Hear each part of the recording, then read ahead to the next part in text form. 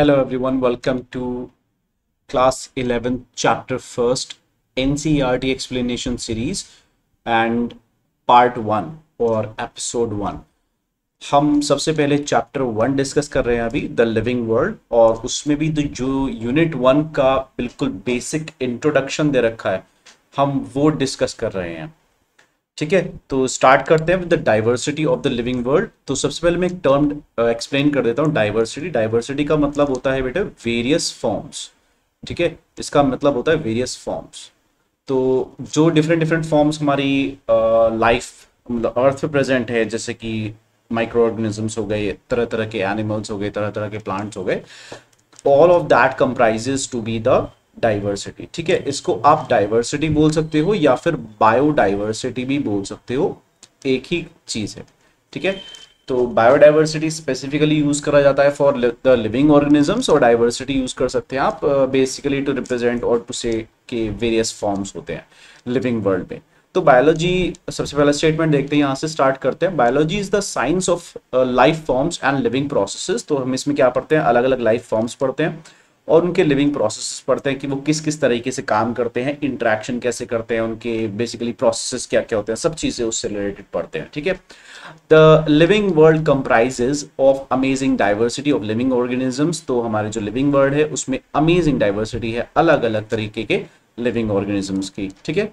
Early man जो कि आदि मानव था could easily perceive the difference between inanimate matter and living organisms. जो अर्ली मैन था बेसिकली वो इजीली परसीव कर सकता था। परसीव का मतलब सेंस कर सकता था।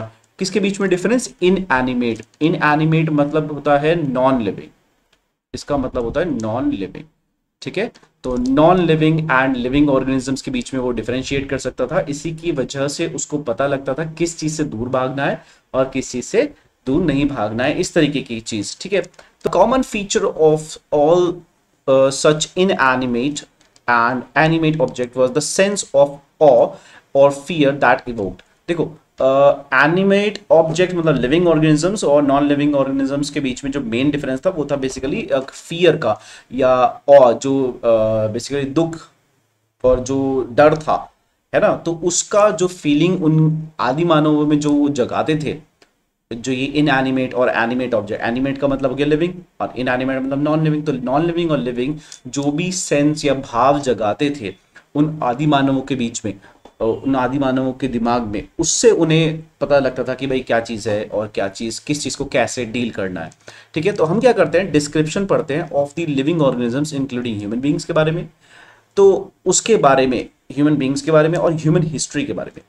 लेकिन ह्यूमन हिस्ट्री में ह्यूमन बींग जो आता है, वो काफ़ी बाद में आता है। मतलब अर्ली मैन या आदि मानव बहुत पहले आता है और ह्यूमन बींग तो बहुत ही, सबसे लास्ट का पड़ाव जो होता है, वो ह्यूमन बींग है। ठीक है? अब हम बात करें सोसाइटीज की। Societies which indulge in anthropocentric view of biology could registered limited progress in the biological knowledge इसका मतलब क्या है? कि ऐसे सोसाइटीज या ऐसे पर्टिकुलर पर्टिकुलर सोसाइटीज जो इंडल्ज हुई, यानी कि जो इन्वॉल्व हुई इन द एंथ्रोप्रोसेंट्रिक एंथ्रोप्रोसेंट्रिक का मतलब होता है रिलेटेड टू मैन तो मैन जो भी काम करता है फॉर एग्ज़ाम्पल मैन ने इंडस्ट्री सेटअप करी है है ना? मैन ने इंडस्ट्री सेटअप करी है मैन ने फैक्ट्री सेटअप करी है तो इस particular view anthropocentric view of biology could register limited progress in the biological knowledge तो अगर आप मानव के हिसाब से ही सर्च करोगे बायोलॉजी को देखोगे कि इंसान के लिए क्या मतलब हमारे लिए ह्यूमन बींग्स के लिए तो ह्यूमन बींग्स के लिए क्या चीज़ बेनिफिशियल है, क्या चीज़ बेनिफिशियल नहीं है तो आपको एक लिमिटेड प्रोग्रेस मिलेगी। जब तक आप एनिमल्स का परस्पेक्टिव नहीं देखोगे, आपको एनिमल्स के बारे में पता नहीं चलेगा। फॉर एग्ज़ाम्पल अगर मैं कहूँ कि भाई, मुझे क्या पड़ी है कि कोई पिजन अगर मरता है, नहीं मरता है राइट लेकिन पिजन के मरने ना मरने से बहुत असर पड़ता है और हम पिजन के बारे में बहुत कुछ पता लगा सकते हैं एनिमल बिहेवियर के बारे में बहुत कुछ पता लगाते हैं ठीक है? तो उस चीज़ से रिलेटेड है। Systematic and monumental description of life forms brought in out of necessity detail systems of identification nomen and classification basically यहाँ पे ये कहना चाह रहे हैं कि जो हम सिस्टमैटिक और मोन्यूमेंटल जो डिस्क्रिप्शन uh, लाए हैं लिविंग ऑर्गेनिजम्स का और डिफरेंट डिफरेंट लाइट फॉर्म्स का। तो आउट ऑफ़ नेसेसिटी मतलब हमारी ज़रूरत थी क्योंकि, है ना?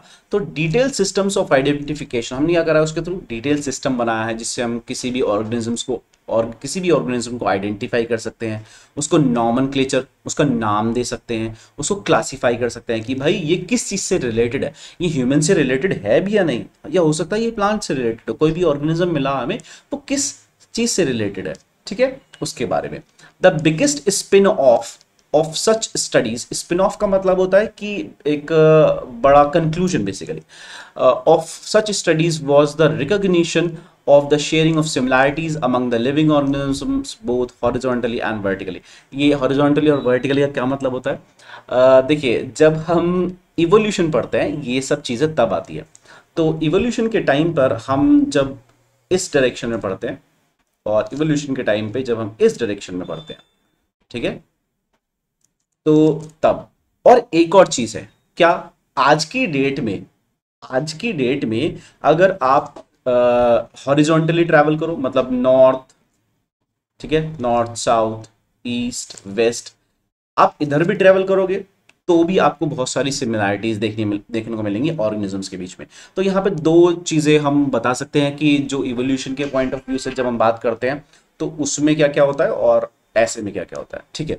अब बात करते हैं present that all that all present day living organisms are related to each other and also all the organisms that ever lived on this earth was a revelation which humbled man and led to the cultural movements for conservation of biodiversity कहने का मतलब ये है basically के जितने जितने भी organisms हैं जो आज तक इस अर्थ पे हुए हैं उनके बीच में वो क्या थे? सारे के सारे रिलेटेड टू इच अदर सब एक दूसरे से रिलेटेड थे। और जब वो एक दूसरे से रिलेटेड थे तो मैन uh, के साथ बहुत सारे इंट्रैक्शंस हुए।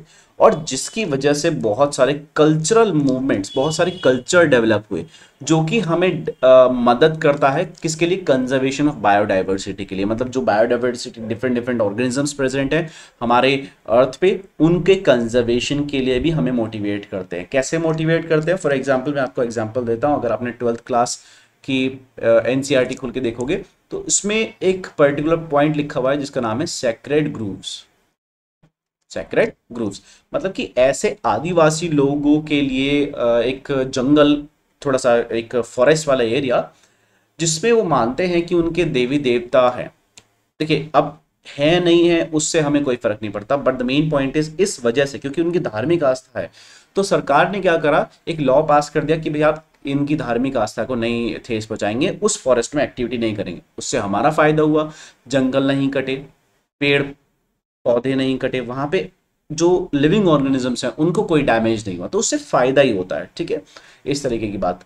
इन द फॉलोइंग चैप्टर्स अभी जो हम चैप्टर्स पढ़ेंगे basically we will get a description हमें डिस्क्रिप्शन मिलेगा क्लासिफिकेशन के बारे में पढ़ेंगे एनिमल और प्लांट दोनों के बारे में from a taxonomics perspective taxonomist वो वो पर्टिकुलर इंसान होता है जो किसी भी ऑर्गेनिज्म को आइडेंटिफाई करता है और उसका रिलेशन सेट करता है। भाई, ये किस चीज़ से रिलेटेड है? किस एनिमल से रिलेटेड है? किस प्लांट से रिलेटेड है? इसका नाम क्या होगा? ये कौन सा है? तो ये सब चीज़ें काम, ये सब काम किसका होता है? टेक्सोनॉमिस्ट का काम होता है। ठीक है? ओके नाउ अब थोड़ी सी डिटेल पढ़नी है हमें एक साइंटिस्ट के बारे में, जिनका नाम है अर्नस्ट मेयर ठीक है? ये अर्नस्ट मेयर के बारे में एक बार एम्स में पूछा गया था। ठीक है एम्स का जो एंट्रेंस एग्ज़ाम पहले होता था उसमें पूछा गया था। बट uh, कोई बात नहीं हम एक बार पढ़ लेते हैं इनके बारे में। That he was born on fifth July nineteen zero four Kempten Germany Ernst were the Harvard University evolutionary biologist evolutionary biologist वो होता है जो कि इवोल्यूशन की स्टडी करता है ठीक है? Who has been called the Darwin of the twenty century Darwin of the twenty century का मतलब होता है कि एक्चुअली uh, एक डार्विन नाम का एक पर्सन था जिसने ये बताया था कि मंकी उसका ही कॉन्सेप्ट था कि हमने कहा कि भाई मंकी से मैन बने। ये जो कॉन्सेप्ट है जिसको हम कह देते हैं कि भाई ये एक इवोल्यूशन है तो इवोल्यूशन का कॉन्सेप्ट जो दिया था मेन कॉन्सेप्ट वो डार्विन ने जब दिया। हालाँकि दिया तो और उन्हें भी था रसल ने भी दिया था। लेकिन डार्विन का कॉन्सेप्ट ज़्यादा फ़ेमस हुआ था। ठीक है? तो डार्विन इसलिए जाने जाते हैं और इनको जो है ट्वेंटी ट्वेंटी सेंचुरी का डार्विन बोला जाता है। Was one of the hundred greatest scientist greatest scientist of all the time okay Mayr joined Harvard's faculty of arts and sciences in 1953 and retired in 1975 ये सिंपल सी भाषा है।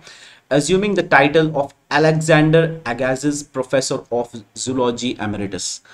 Basically ये इनके टाइटल्स दिए गए हैं कि ये जो है एक बहुत ही उमदा और बहुत ही नोन रिनोन्ड और बहुत ही हार्ड वर्किंग पर्सन है Ernst Mayr and that's he was the professor of biology in Harvard University जिसके बारे में हम जानते हैं Harvard University one of the top most universities of the world okay throughout nearly 80 years of his career उन्होंने 80 साल के आसपास अपना रिसर्च और पढ़ाया है। रिसर्च स्पैंड ऑर्निथोलॉजी ऑर्निथोलॉजी होती है बर्ड से रिलेटेड तो ornitho it's mean bird taxonomy हमें पता ही है टैक्सोनॉमी मतलब जो क्लासिफिकेशन नॉमन वगैरह करे। जू जियोग्राफी जू जियोग्राफी का मतलब होता है कि अगर हम इसका पता करना चाहें कि जू जियोग्राफी क्या है तो सिंपल सी बात है संधि विच्छेद कर लेनी है। आपने संधि विच्छेद ज़रूर पढ़ा होगा। तो जू और जियोग्राफी। तो geography is the study of earth. ये तो आपको पता ही है। और जू मतलब एनिमल्स। तो अर्थ पे एनिमल्स किस किस तरीके से डिवाइडेड हैं डिस्ट्रीब्यूटेड हैं उन सब की जब हम स्टडी करते हैं that is called zoo geography. ठीक है? फिर हम एवोल्यूशन की बात करते हैं। ठीक है? उसने आ, मतलब अर्न्समेयर ने एवोल्यूशन की बात करी थी। सिस्टमैटिक्स बायोलॉजी में मैथमेटिकल सिस्टम्स को अप्लाई करने का एक टर्म होता है systematics okay and history and philosophy of biology तो बायोलॉजी में हिस्ट्री के बारे में उन्होंने बात करा था बेसिकली इवोल्यूशन ठीक है? फिलोसफी में कि बायोलॉजी में जो भी ऑर्गेनिजम्स हैं, वो ऐसा करते हैं, उसमें थोड़ा बहुत फिलोसफी अगर लगा दिया जाए। तो he single handedly made origin of species diversity the central question of the evolutionary biology that is today तो इवोल्यूशनरी बायोलॉजी आज की डेट में जो है, वो इनकी बदौलत है। कहने का मतलब ये है, ठीक है? नाउ ही ऑल्सो पायनीड पायनीड का मतलब होता है कोई मूवमेंट स्टार्ट करना, किसी चीज़ को डिस्कवर करना। The currently accepted definition of the biological species तो आज की डेट में जो हम बायोलॉजिकल स्पीशीज की जो डेफिनेशन देते हैं, वो इन्होंने ही दी थी, ठीक है? अच्छा वो डेफिनेशन क्या है? मैं आपको एक बता देता हूँ। बेसिक आइडिया दे देता हूँ है ना? डेफिनेशन तो हम बाद में पढ़ेंगे क्योंकि चैप्टर जब पढ़ेंगे तब उसमें कवर हो जाएगा ठीक है? ओके इन्होंने ये कहा था कि कोई एक पर्टिकुलर एरिया है ठीक है? ये एरिया है कोई सभी मान लीजिए। अब ये जोग्राफिकल एरिया इस जोग्राफिकल एरिया में मैं कह रहा हूँ कि आ, कोई ऑर्गेनिज्म है ऑर्गेनिज्म का नाम है ए तो वो ऑर्गेनिज्म आपस में इंटरेक्शन करते हैं ठीक है? और आपस में वो रिप्रोड्यूस कर सकते हैं। अगर वो रिप्रोड्यूस नहीं कर सकते तो वो सेमी स्पीशीज के नहीं है। तो क्या क्या क्या क्या मैंने कहा कि एक तो वो सिमिलर होने चाहिए सेम जोग्राफिकल वो सिमिलर होने चाहिए, जो एक ही जोग्राफिकल एरिया में है, और एक जोग्राफिकल एरिया में भी अगर नहीं भी प्रेजेंट तो भी कोई प्रॉब्लम नहीं है। बट हमें अपना एरिया जो हमने एक्सपेरिमेंट के लिए लिया हुआ है, हम उस एरिया की बात कर रहे हैं। जो हम स्टडी कर रहे हैं, हम उस एरिया की बात कर रहे हैं। तो वहाँ पे ऑर्गेनिज्म सिमिलर होना चाहिए सिमिलर टू ए सारे के सारे सिमिलर होने चाहिए। और वो इंटरब्रीड करने चाहिए। मतलब एक दूसरे में रिप्रोडक्शन वो कर सकते हैं। ठीक है? तो मान लीजिए ये ए वन है, ये ए टू है, ये ए थ्री है। तो ए वन ए टू से रिप्रोड्यूस कर सकता है ए थ्री से रिप्रोड्यूस कर सकता है, इस तरीके से रिप्रोडक्शन कर सकते हैं। लेकिन अगर कोई दूसरे टाइप का ऑर्गेनिज्म है बी और ये इससे रिप्रोड्यूस इनके बीच में रिप्रोडक्शन नहीं हो पाता तो इसका मतलब ए और बी सेम स्पीशीज नहीं। सिंपल सा मतलब ये। ठीक है? तो बायोलॉजिकल स्पीशीज का ये कॉन्सेप्ट उन्होंने ही हमें दिया था।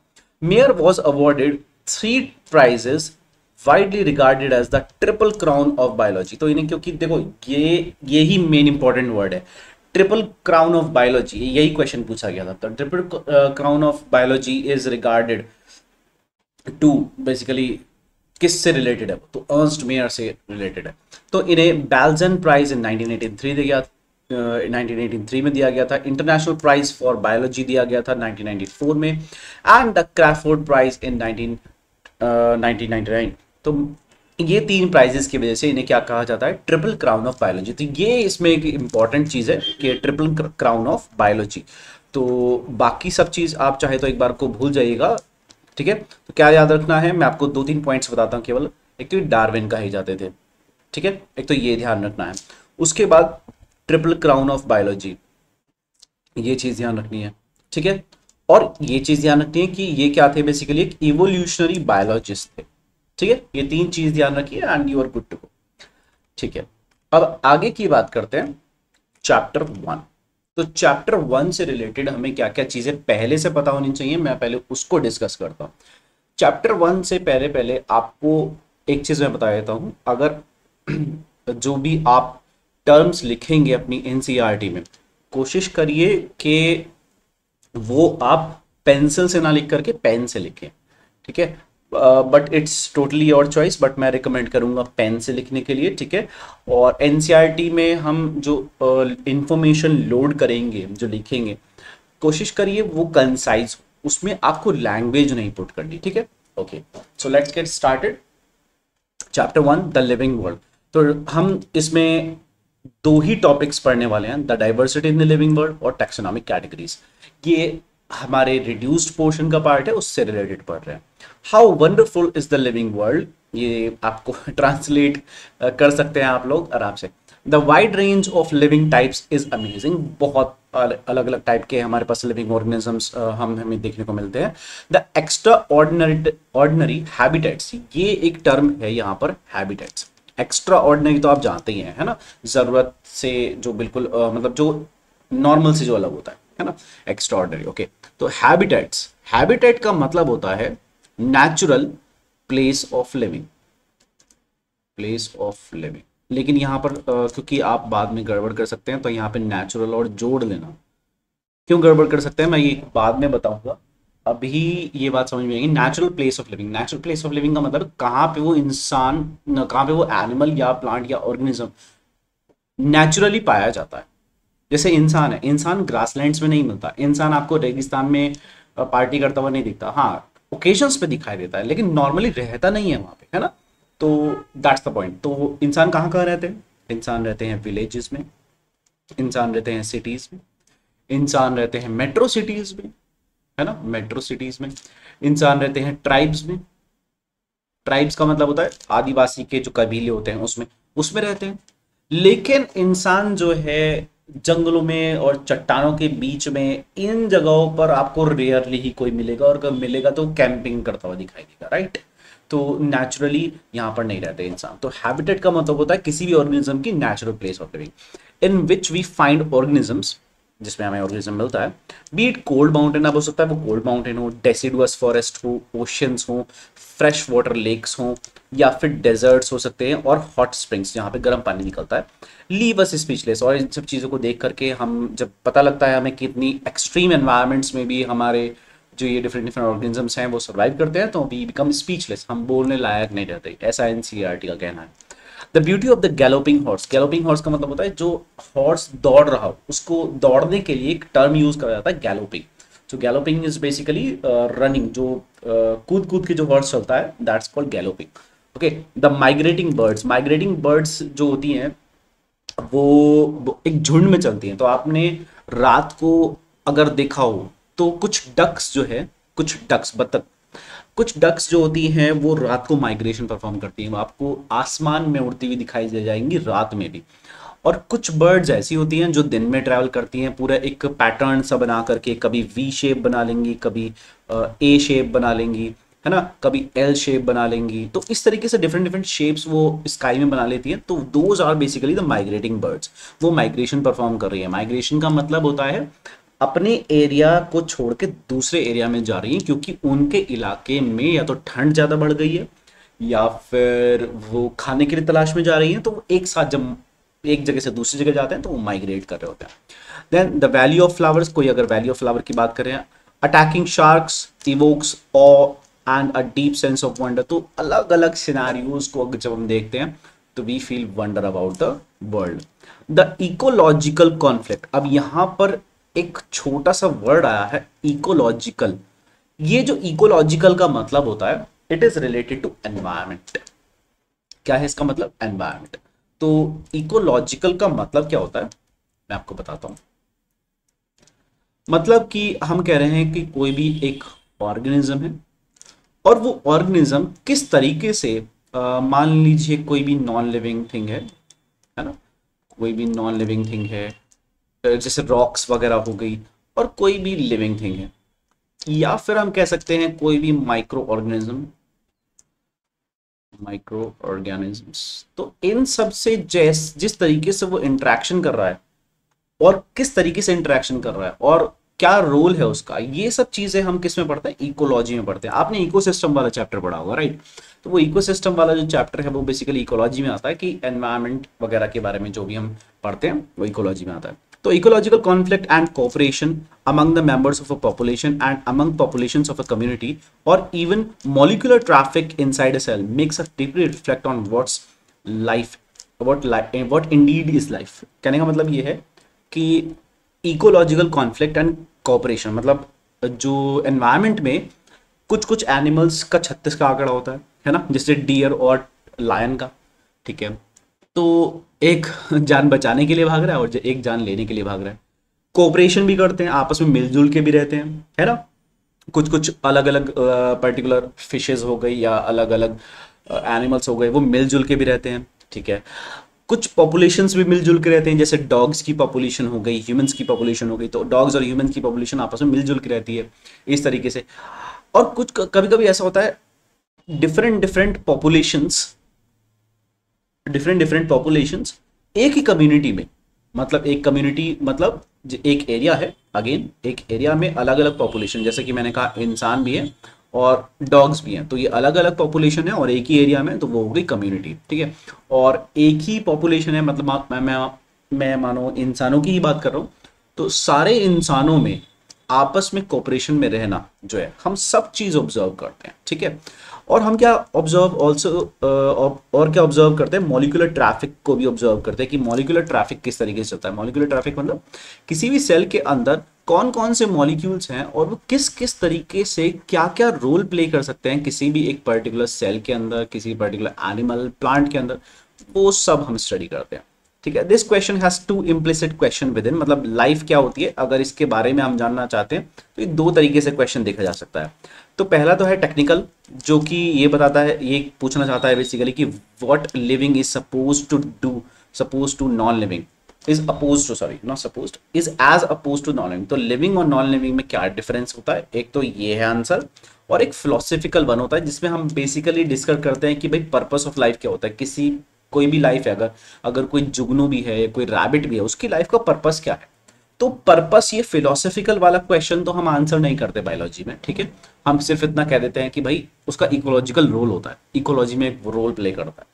तो हम टेक्निकल आंसर ढूंढते हैं बायोलॉजी में, ना कि फिलोसफी के हिसाब से, ठीक है?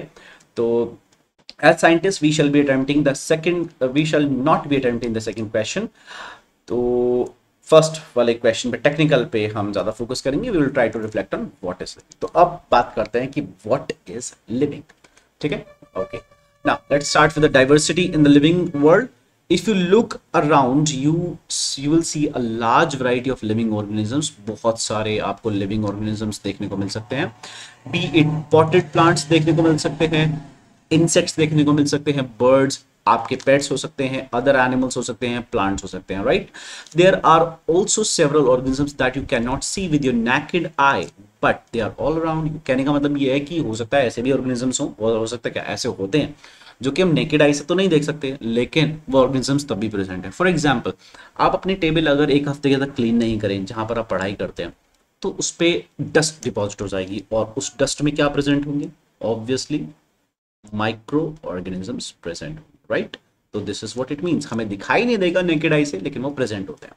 If you were to increase the area that you make observation in मतलब आप जिस एरिया को स्टडी कर रहे हो, अगर आप उस एरिया को बढ़ा दोगे the range and variety variety of the organisms that you will see increase कहने का मतलब ये है कि जैसे जैसे आप अपना एरिया बढ़ाते हो स्टडी का, कैसे? मैं बताता हूँ। मान लीजिए कि आपने पहले एक स्क्वायर स्टडी कर रहे थे, एक मीटर का, और एक स्क्वायर था। लेकिन अब आप स्टडी कर रहे हो कि भाई मैं तो जो है हंड्रेड मीटर का एक स्क्वायर स्टडी करूँगा। दोनों काम अब एक ही फॉरेस्ट में कर रहे हो, ठीक है? एक ही फॉरेस्ट में या एक ही लैंड पे ऐसे करके कर रहे हो। अब यहाँ पर आपको मिले लेट सपोज़ तीन टाइप के ऑर्गेनिज्म लेकिन यहाँ पर आपको more than ten types of organisms मिल जाएँगे। अलग अलग तरीके के प्लांट्स मिलेंगे, हो सकता है एनिमल्स भी मिल जाए। है ना एनिमल्स भी। इंसेक्ट्स भी मिलेंगे तो मोर देन टेन तो आराम से मिल जाएँगे। तो इनके कहने का मतलब ये है कि जैसे जैसे आप एरिया इंक्रीज करते हो ऑफ़ योर स्टडी वैसे वैसे क्या बढ़ जाता है? नंबर ऑफ़ ऑर्गेनिज्म जो आपको मिलते हैं स्टडी करने के लिए, वो भी बढ़ जाएँगे। ठीक है? So obviously, if you visit a dense forest, you would probably see much greater number and kinds of living organisms dense forest में नंबर ऑफ़ organisms और तरह तरह के ऑर्गेनिज्म आपको मिल जाएँगे। Each different kind of plant or organism और animal that you see represents a species तो कहने का मतलब यह है डिफरेंट काइंड अगर कोई एनिमल अलग तरीके का है, जैसे मान लेते हैं एक बंदर है और एक लंगूर है, ठीक है तो बंदर अलग दिखता है, लंगूर अलग दिखता है, ठीक है तो वो क्या है, वो स्पीशीज को रिप्रेजेंट करता है कि बंदर एक अलग स्पीशीज है, लंगूर एक अलग स्पीशीज है। दोनों आपस में रिलेटेड हो सकते हैं, लेकिन दोनों के दोनों अलग स्पीशीज है। ठीक है? ये कहने का मतलब है। और स्पीशीज की क्या डेफिनेशन होती है? ये हमने पढ़ी ली थी ठीक है?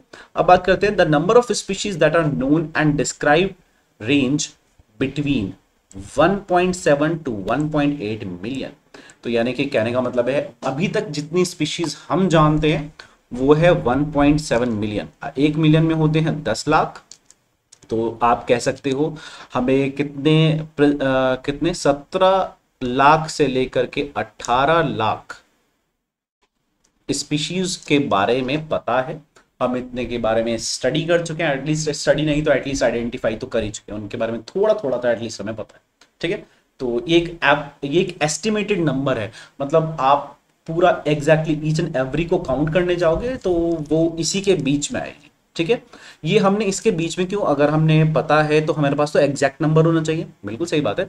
लेकिन कुछ ऐसी स्पीशीज होंगी जो इस साल डिस्कवर होंगी। कुछ ऐसी होंगी जो अगले साल डिस्कवर होंगी। है ना? तो उन सब का नंबर एस्टिमेट करके हमने ये एक नंबर निकाला है। रेंज निकाली है। ठीक है? Okay this refers refers to the biodiversity again देखो मैंने आपको बताया था ना डाइवर्सिटी और बायोडाइवर्सिटी के बारे में। बायोडाइवर्सिटी मैंने आपको बताया था। कहाँ बताया था? यहाँ बताया था कि अगर हम लिविंग ऑर्गेनिजम्स के बारे में तरह तरह के लिविंग ऑर्गेनिजम्स के बारे में बात कर रहे हैं तो वो कहलाता है हमारा बायोडाइवर्सिटी तो this refers to the biodiversity और द नंबर एंड टाइप्स अलग अलग तरीके के और अलग अलग नंबर के ऑर्गेनिज्म मतलब का नंबर भी ज़्यादा है अगर तो प्रेजेंट ऑन दियर तो हमें उसके बारे में पता लगता है. We should remember here that as we explore new areas जैसे जैसे हम न्यू न्यू जो एरियाज़ हैं, उनको एक्सप्लोर करेंगे, या फिर चाहे तो पुराने एरिया को एक्सप्लोर करेंगे, हमें कंटिन्यूसली न्यू ऑर्गेनिजम्स मिलते रहेंगे, जिनको हम आइडेंटिफाई करेंगे। ऐसा क्यों? क्योंकि ऑर्गेनिज्म जो है, अपने आप को बेहतर करते रहते तो जो छोटे छोटे ऑर्गेनिजम्स हैं वो अपने आप को जल्दी बेहतर करते हैं, अपने आप को जल्दी एडवांस कर लेते हैं। जो बड़े ऑर्गेनिजम्स हैं कॉम्प्लेक्स ऑर्गेनिजम्स हैं, वो अपने आप को इतनी जल्दी एडवांस नहीं कर पाते। बट बेसिकली एडवांस तो वो कर ही लेंगे ठीक है? तो आप पुराना एरिया जो खोजेंगे, पुराना एरिया जो स्टडी करेंगे, उसमें हमें न्यू ऑर्गेनिजम्स कम मिलेंगे और ऑब्वियसली नए एरिया में तो ज़्यादा ही मिलेंगे। लेकिन पुराने एरिया में भी हमें मिलेंगे। तो यहाँ पे भी ऐड हम, यहाँ पे भी न्यू ऑर्गेनिजम्स ऐड होंगे पुराने एरिया से ठीक है? Okay now as stated earlier जैसे कि हमने पहले कहा है there are millions of plants and animals in the world millions of plants and animals है. We know the plants and animals in our own area by local names तो हमें local name से पता है. हमें पता है कि एक कैट को बिल्ली बोलते हैं राइट right? एक डॉग को कुत्ता बोलते हैं.